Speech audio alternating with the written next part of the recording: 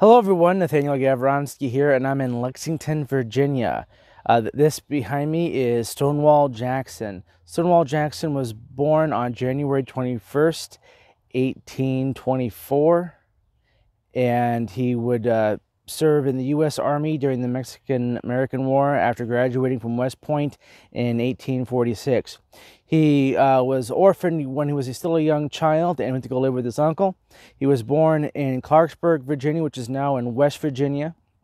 And after the Mexican American War, he went and taught at the Virginia uh, Military Institute here.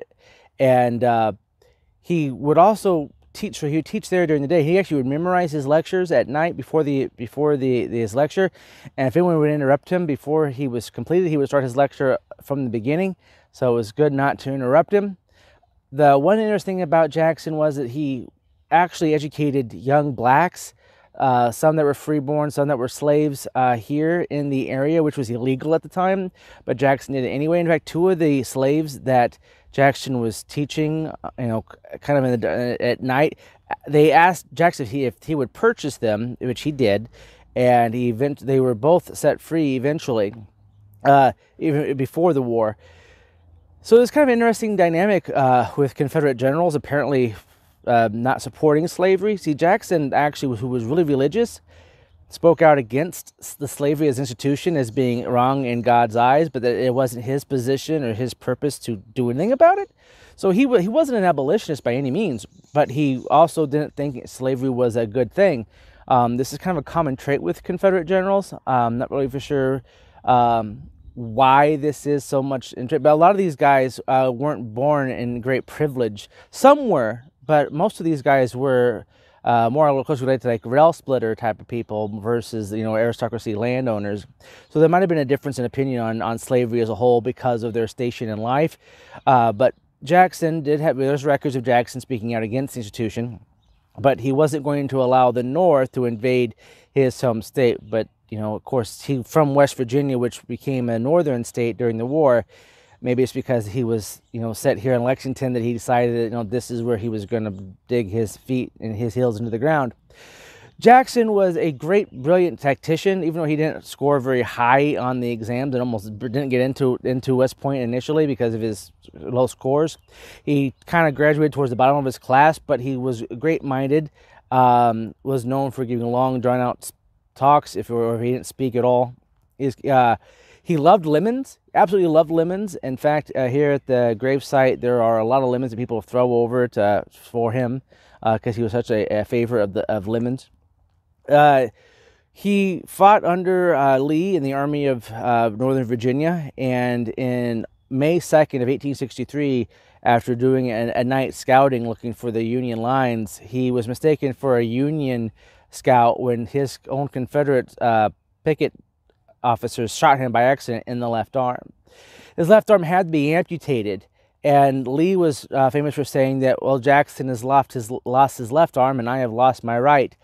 Uh, on May 10th at around 10 a.m., Jackson died from complications to pneumonia from his weakened state of losing the arm and it was a really big setback for the Confederacy. Lee really didn't have someone to, to do a lot of the tactics he needed on, on the ground. And you can see after 63, the war kind of turned very quickly towards the North's favor. Jackson was interred here um, in Lexington, Kentucky. The majority of his family is all here. One person was unable to be recovered from the, from the war. But Jackson does, still does still stand proud here in the Lexington, uh, Virginia uh, cemetery. Uh, there used to be a statue of him outside of the uh, VMI, but they have taken it down. Uh, Lexington is also where Robert E. Lee is buried. He is buried at the um, Washington and Lee University, but they do not allow cameras into the chapel where he's buried, so I will figure out another way of doing that video with the still shots that I've got. So uh, that's roughly kind of Andrew Jackson. Uh, I can't go into a whole lot of detail about a lot of these guys, but that's basically you know his rundown. I do think it's really interesting that he was so opposed to slavery, as was uh, Lee, but how they actively didn't do much to oppose it, and or even seen as fighting for the country that wanted to maintain slavery uh, within its borders. Um, one interesting thing about Jackson is right after the first Battle of Manassas or Bull Run he actually wanted to pursue uh, the, the, the retreating Union officers and the uh, the Union uh, armies that have, you know technically lost the battle. And Lee and Jefferson both overrode him. He said that what he wanted to do was basically take you know as many men as he could go and go straight to Washington and burn it down. So he was like the north, the southern, south version of a Sherman, except for uh, Jackson was overridden and not allowed to do that. If he would have done that, and he also he wanted to go up to Philadelphia as well and burn it to the ground uh, too.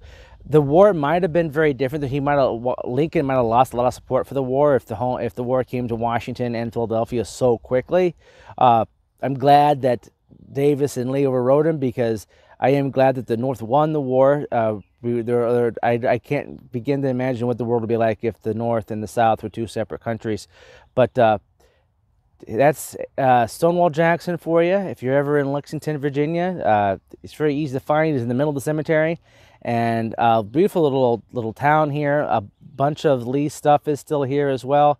So come check it out in uh, Lexington, Virginia. until next time, stay healthy, stay wealthy, and as always, stay wise, Virginia.